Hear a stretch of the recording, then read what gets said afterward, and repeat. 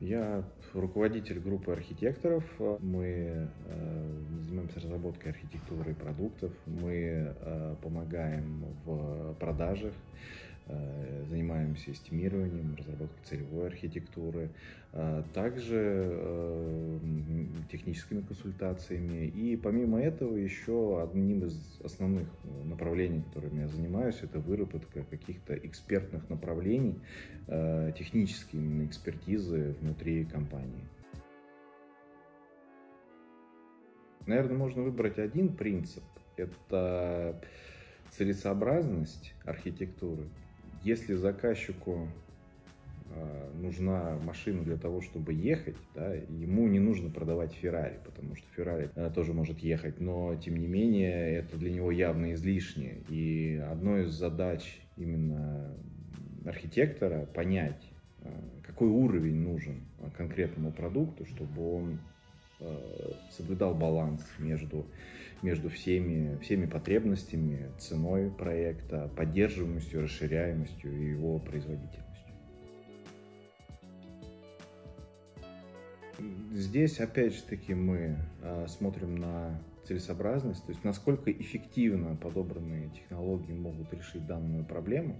Понятно, что выбор технологий достаточно велик, и многие проблемы, многие вещи, они решены в разных э, технологических стеках. Но тем не менее, первым, пер, первоочередный принцип – это насколько технический стек позволяет эффективно решить нашу проблему – а, во вторую очередь, насколько этот технический стек э, приемлем для заказчика, если у него кадры внутри компании, которые могут работать с этим языком или желают на него перейти. Это важно для дальнейшей поддержки. И, э, конечно, не стоит забывать э, тех специалистов, которые сейчас у нас доступны, которые могут непосредственно максимально быстро подхватить этот проект и начать разработку примерно в таком порядке. Ну тут, наверное, тренд больше не в области именно самой архитектуры, хотя в ней тоже есть несколько интересных моментов. Гораздо больше интересно именно а, технологические новшества, которые существуют сейчас. Как, например, EIML, да, то есть бурное развитие искусственного интеллекта затрагивает все а, сферы нашей жизни, разные профессии. И э, мы сейчас находимся достаточно в интересной, э, в интересной такой точке, в которой либо развитие И э, остановится на этом же уровне и будет использоваться в совершенно каких-то таких довольно-таки понятных прикладных задачах, либо оно как-то полностью изменит э, подходы, в том числе и к архитектуре, к, в принципе, принципам самого построения а, программного обеспечения, поэтому здесь мы а, следим, смотрим и ждем а, какие-то признаки, чтобы понять, куда дальше двигаться, куда дальше развиваться.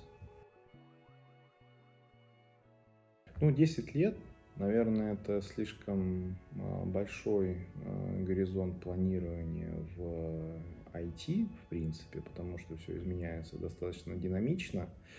А, если просматривать какие-то тренды, то это меньше работы по факту получается. То есть если раньше программист а, работал, ну, ему требовалось довольно-таки много вещей делать самому, то спустя время он начинает, он а, делает это все меньше и меньше и непосредственно сосредотачивается на конкретных каких-то вещах, на, на конкретном программировании. То есть если говорить про э, какие-то архитектурные подходы, то сейчас бессерверный подход начинает набирать популярность, он еще не так распространен, но тем не менее э, это тот подход, в котором э, инженер может полностью сосредоточиться практически на программировании, ему не нужен никто, э, кто помог бы ему развернуть приложение, заниматься его, его а, поддержкой именно инфраструктуры и прочего. Он просто пишет код даже в браузере, в обычном, и он у него уже работает.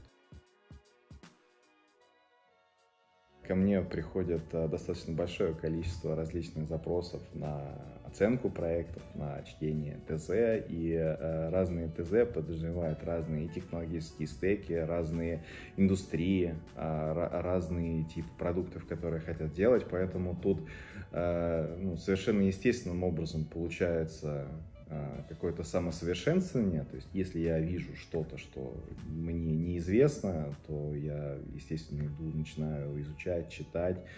Как говорил мой отец, я узнаю все из наблюдений, потому что странствуя по свету, я не закрываю глаз. Поэтому надо стараться смотреть на все вокруг и э, все изучать. Э, ко всему задавать вопросы, зачем, почему и как это работает. Если говорить про технические книги, то их много, и всех и не перечислить. Главное, главное читать, мне кажется. Это самый главный совет. Читать, узнавать. Потому что, да, и читайте художественные книги, да, они несут разумные добрые вещи.